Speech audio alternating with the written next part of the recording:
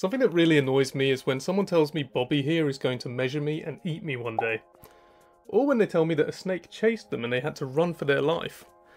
If that's the kind of thing that annoys you too, stay tuned, because today we're going to expose the most ridiculous snake myths, and we're going to bust them so bad they never recover.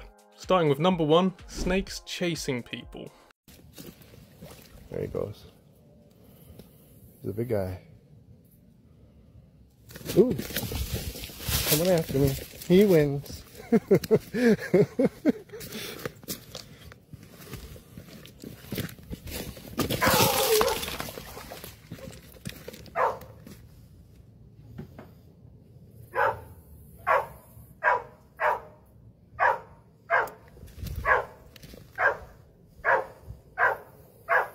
There you had a snake trying to get back to the shore and get back to somewhere it felt relatively safe. Kicking rocks at it was stupid, obviously. It wasn't chasing the rocks on the water either. It was ducking down to get away from what it perceived as a potential threat or a predator. Water moccasins, I guess, are not as good as water snakes underneath the water, so they do like to stay on top. They will stand their ground a bit, but I was just trying to get back to shore. Now, there's two ways to take this myth. First is that some people are scared, and so anytime they see a snake, their imagination runs a bit wild, and they can genuinely believe that it's chasing them purely out of fear, in which case they'd run away completely. The other way you can take this myth, which really annoys me, is that people use it as an excuse to harm the snake. There we've seen the cottonmouth chasing me, so I kick rocks at it. Next time it will be, this garter snake was chasing me, so I chopped it up with a shovel. And we've seen this many, many, many times. We've heard lots of stories like this. Snakes do not chase people. Generally, you are simply in their way. Next up, the big one. Something we've all heard over the last year or so, I'm sure, is the idea of pythons measuring their owners to eat them later on. A woman had a pet snake that she loved very much. The snake was about seven feet long, and one day it just stopped eating. After several weeks of trying everything, the lady still couldn't get the snake to eat. The woman took the snake to the vet and explained her situation. The vet replied, I see. Has your snake been sleeping with you at night or snuggling real close and stretching himself out? The woman said, Yes, every day, and it makes me so sad that I can't help him feel better. The vet said to the lady, Ma'am, your snake is not sick. It has been preparing to eat you. He's been sizing you up every day so he knows how big he has to be. He's not eating, so he has enough room to digest you. Moral of the story. Recognize the snakes around you. Just because they seem close to you doesn't mean their intentions aren't to devour you. That one was so stupid on so many levels, they couldn't even keep the story straight. First it was about snakes, and then they tried to infer that it was kind of like a little bit about human psychology as well. Um, it was terrible, all round. Can you imagine basically in the wild if snakes did this. If snakes said to every prey item they came across, oh, excuse me, Mr. Bunny Rabbit or Mr. Gazelle, I've got to lie down and measure you before I try and eat you. They wouldn't ever eat, they wouldn't ever survive or reproduce. From an evolutionary sense, that doesn't add up and it wouldn't work. Now, when it comes to eating humans, there's a big problem with humans for snakes, and that is the shoulders. Shoulders are very wide in proportion to our height or our length, and that means that we're always even if it's a big snake like an anaconda or a reticulated python, we are always an awkward meal. And they don't tend to eat people for that fact, and because we're so dangerous, so volatile, um, which any animal knows. So, overall, you know, it's a terrible idea. It doesn't make any sense. Finally, to add to this, there's also the fact that we don't smell like their regular food. We smell like a human, a lot of these snakes are used to eating like rabbits, large birds, even small gazelles, etc. They will eat large prey, they'll even eat crocodiles, for example. But human isn't in their typical list of prey items, and a lot of them you find they kind of stick to a select few things. Next up, a really, really popular one, and that is that all venomous snakes have triangular heads. How do you know if a snake is venomous or not? Typically, venomous snakes have triangular-shaped heads, pupils with slits like a cat's, and thick bodies. Some venomous snakes are also classified as pit vipers, such as rattlesnakes and copperheads. These types of snakes have pits just behind their noses that they use to detect prey. If you like this video, follow, and subscribe.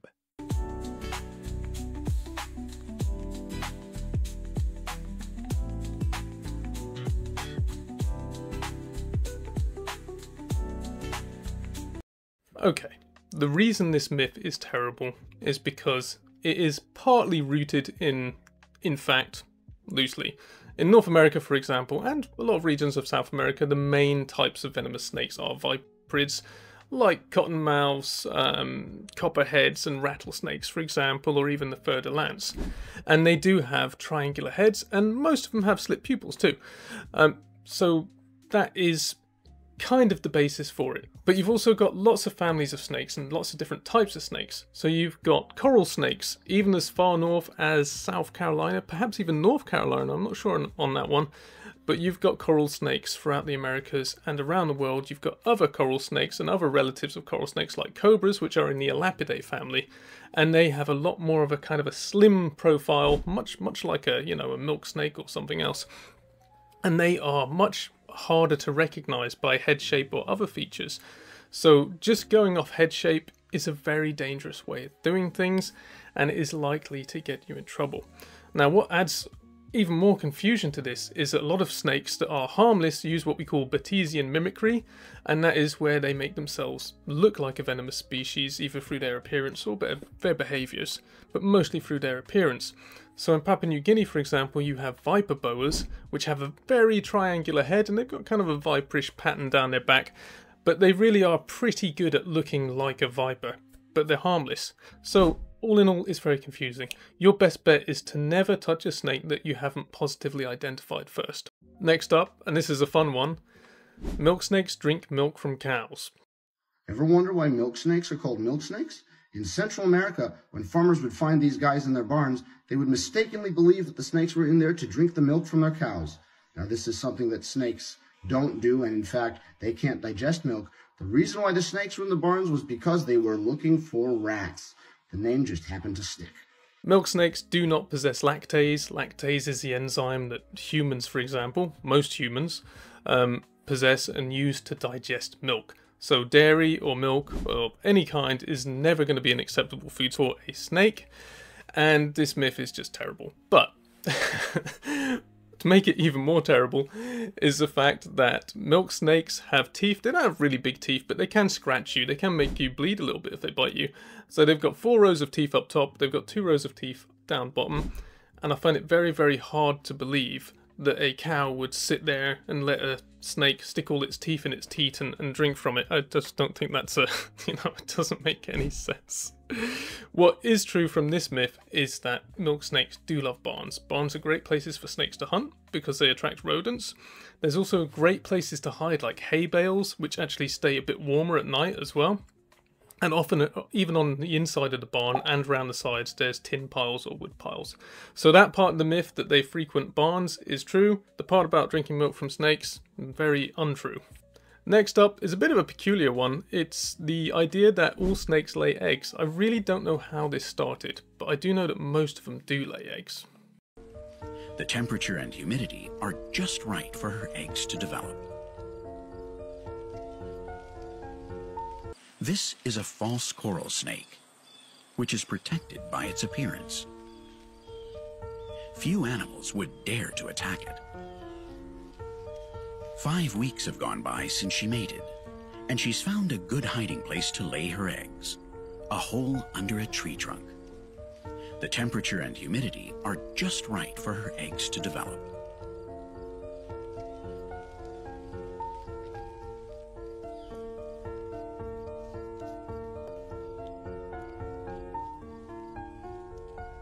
Although some snakes, like the big pythons, brood their eggs, the normal thing is for snakes to abandon their offspring as soon as they've laid their eggs.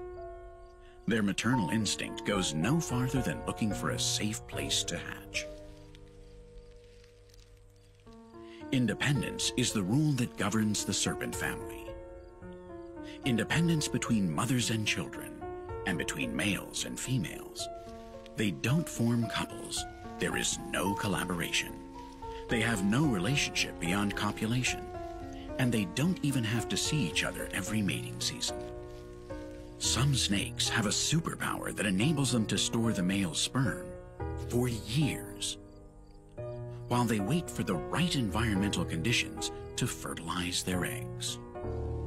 That was an interesting little clip there just to go into detail about how some snakes lay their eggs and a bit about their reproduction, so that was interesting. What I would say is that most snakes, I'm going to say somewhere between 70 and 80% of snakes do lay eggs, and I guess that's probably where the myth came from, but there's a significant proportion of snakes that bear live young, so rattlesnakes for example, anacondas and sea snakes, and it has different kinds of advantages. For a sea snake, it's pretty easy to understand why it's advantageous, um, because you know laying eggs underwater isn't great. Eggs need oxygen exchange, so they just die.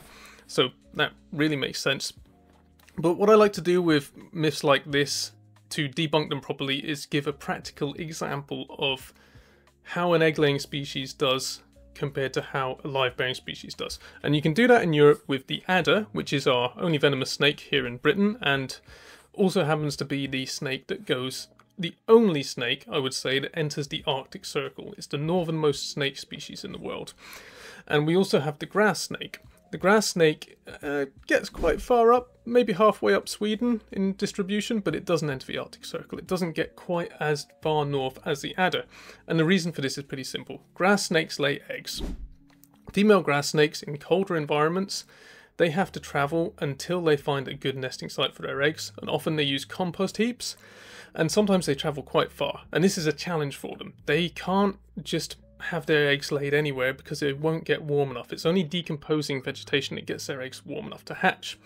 The adder, on the other hand, bears live young, so it can bask. They're so good at finding good basking spots, in fact, that they've even been seen basking when there's snow on the ground. And this has allowed the adders to keep their young on the inside, keep them warm as long as they need to until birth, and have this risk factor gone, as it were, in terms of, you know, all your eggs being laid and then just dying of cold and that's allowed them to go further north. So that's a practical example of why live bearing is better in some circumstances and some environments. Next up is a really old one, the idea that you can tell a rattlesnake's age from its rattle. There's an old myth that you can count the number of rattles and therefore say how old a rattlesnake is. But the bottom line is this is not true. Rattlesnakes gain a section of rattle every time they shed their skin and they do that three to five times a year. So therefore, you can't count their rattles to know how old they are. That's 100% correct. They gain a new segment to the rattle. It's like it bolts on every time they shed and stays behind and adds another link, another segment. And they shed at least three times a year, maybe more, it depends on their age, growth rate, etc. For example, when they come out of hibernation, one of the first things they often do is shed um, and young ones will shed more rapidly. And what makes this even worse of a kind of a way of telling their age is the fact that those older segments they do get broken up and they get a bit brittle and they fall off. So the rattlesnake, an adult one, is gaining segments every few months and it's losing segments as well. So you can never really tell how old they are. But baby rattlesnakes, when they're first born, and up until I think their second shed, only have one little piece of a rattle. They have what you call a button, so they don't have a proper rattle. And that is a way that you can identify a baby rattlesnake, you know, along with the fact that it's like under a foot long where the adults are three times the size.